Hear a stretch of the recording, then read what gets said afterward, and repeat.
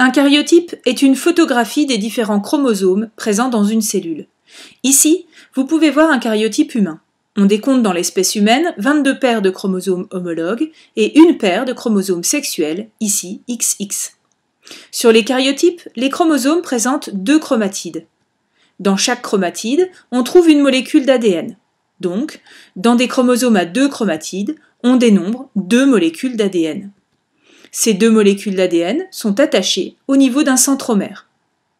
Vous avez vu en seconde qu'une molécule d'ADN est formée de deux chaînes constituées chacune d'une succession de nucléotides A, T, G et C.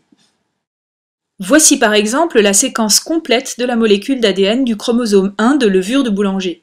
On décompte dans chacune des deux chaînes de la molécule d'ADN 23 000 nucléotides. À titre de comparaison, l'ADN du plus petit chromosome humain fait 50 millions de nucléotides. Il nous faudrait donc imprimer 800 pages et non 25 comme ici. Vous savez également que certaines portions des molécules d'ADN portent une information qui permet de fabriquer des protéines. Ces portions d'ADN qui portent une information s'appellent des gènes. Voici par exemple un des 100 gènes contenus dans le chromosome numéro 1 de la levure. Chez l'homme, on décompte environ 20 000 gènes différents dans les 23 paires de chromosomes. Prenons l'exemple du gène responsable des groupes sanguins A, B et O. Ce gène porte l'information qui permet de fabriquer des marqueurs qui se trouvent à la surface des globules rouges. Il existe trois versions de ce gène la version A qui permet de fabriquer le marqueur A, la version B qui permet de fabriquer le marqueur B, et la version O qui permet de fabriquer un marqueur non fonctionnel. Ce gène, responsable des groupes sanguins, se trouve toujours au même endroit sur les chromosomes numéro 9. On appelle cet endroit un locus. Tous les êtres humains portent donc sur chacun de leurs chromosomes numéro 9 un gène des groupes sanguins. Ce gène existe en trois versions, la version A, la version B et la version O. Ces trois versions du même gène s'appellent des allèles. Regardez cet individu. Sur ces deux chromosomes numéro 9, on voit le gène des groupes sanguins. Cet individu porte la version A de ce gène sur les deux chromosomes. On dit qu'il est homozygote pour ce gène. Ce deuxième individu présente quant à lui la version A sur le premier chromosome et la version B sur le deuxième chromosome. On dit qu'il est hétérozygote pour ce gène. L'association des allèles chez un individu pour un gène donné s'appelle le génotype. Par convention, on écrit le génotype entre parenthèses et on figure la paire de chromosomes homologues avec des slash. Ici, notre premier individu a pour génotype AA.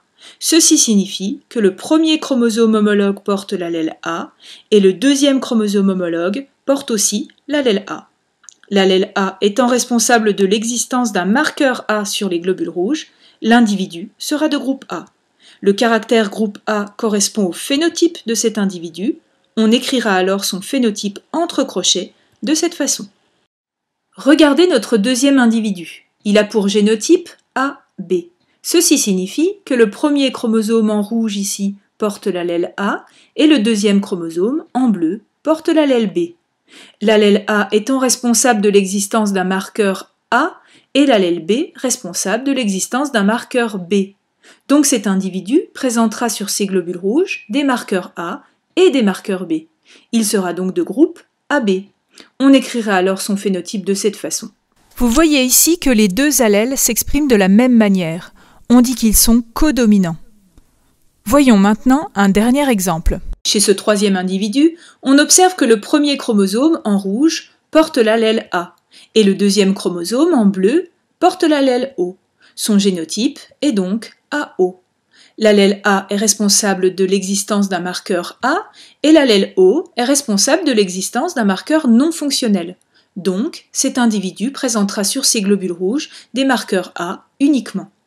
Il sera alors de groupe A. On écrira son phénotype de cette façon. Vous voyez ici que seul l'allèle A s'exprime. On dit que l'allèle A domine sur l'allèle O. Cet allèle A dominant s'écrit en majuscule et l'allèle O qui est récessif s'écrit en minuscule. Vous voyez donc bien ici que le phénotype ne reflète pas toujours le génotype. Pour terminer cette capsule, je voudrais insister sur un point qui est souvent source d'erreur. Vous savez qu'un gène se trouve toujours au même locus sur les paires de chromosomes. Vous avez vu également qu'on peut trouver des allèles différents de ce gène sur les deux chromosomes de la même paire. Regardez ici, on a l'allèle A sur le premier chromosome et l'allèle B sur le deuxième chromosome de la paire numéro 9.